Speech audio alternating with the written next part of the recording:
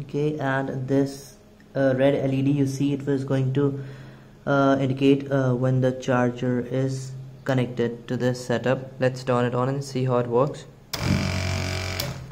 See it's working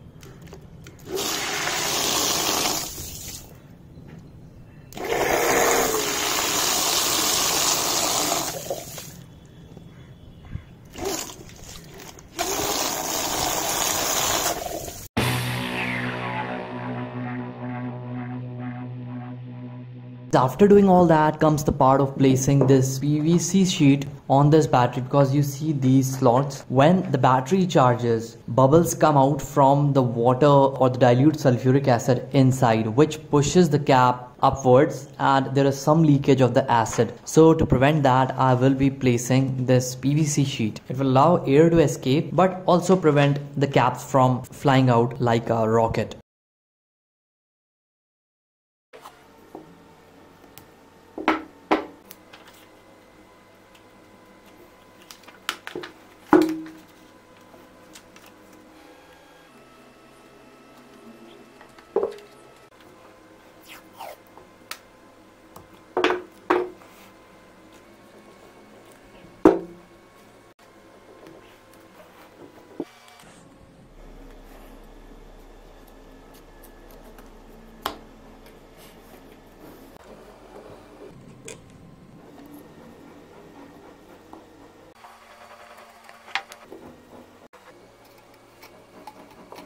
Now guys after completing the process of taping of the battery for protection from the acid leaking comes the part of keeping the motor in place with the help of aluminum strip sheet.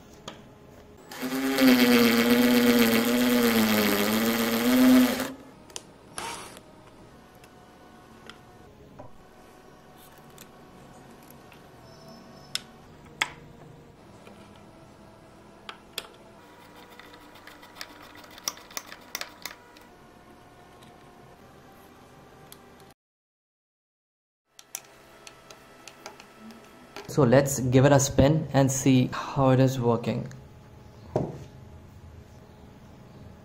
Okay. See pretty good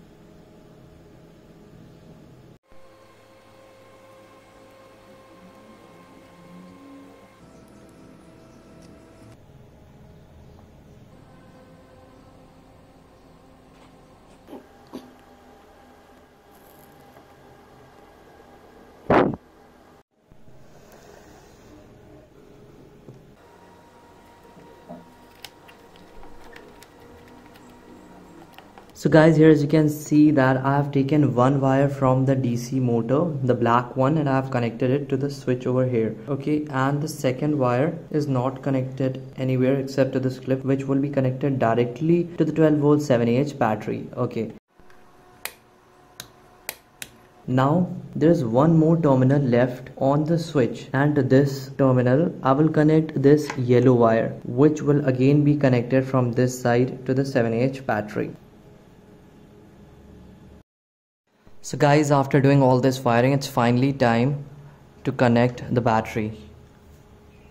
Okay so this is the battery. So yes the battery has also been placed. Now guys this yellow wire I will connect it to the negative terminal first. Okay. That's the negative terminal. Now comes the positive wire the only left out wire yeah so let's connect this one too. Okay. Yeah so this one is also connected. Now let's turn on the switch. You see it's working.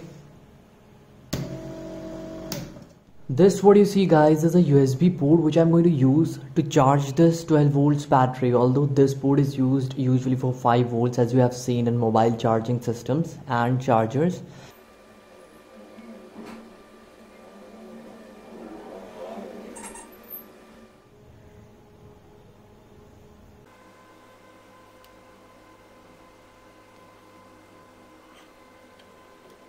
Here as you can see I have also placed hot glue so that it fixes strongly and rigidly. And this is the USB cable.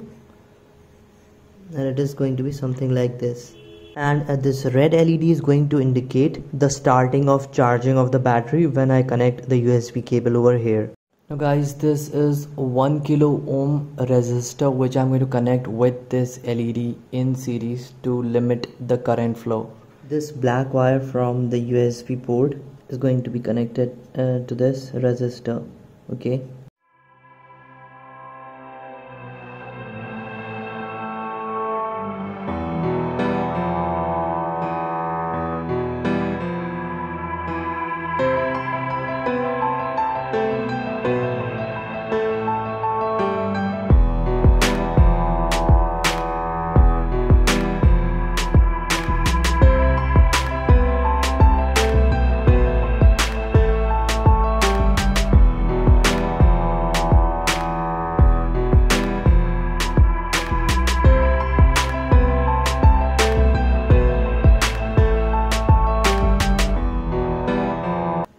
see it is glowing. So to prevent that i'm going to use this 6 amperes diode okay? And this is the positive side of the diode which will be connected to the led over here and the negative to this white terminal. Okay you see now the light bulb is not glowing. And that's done. So diode has been connected charging cable has been connected. Everything done. Now comes the testing part and also the back cover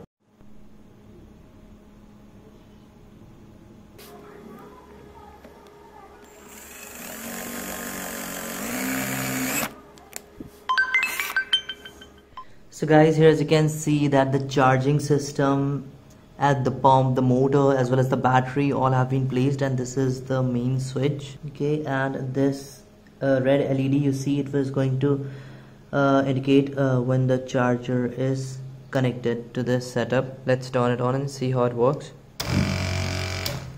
See it's working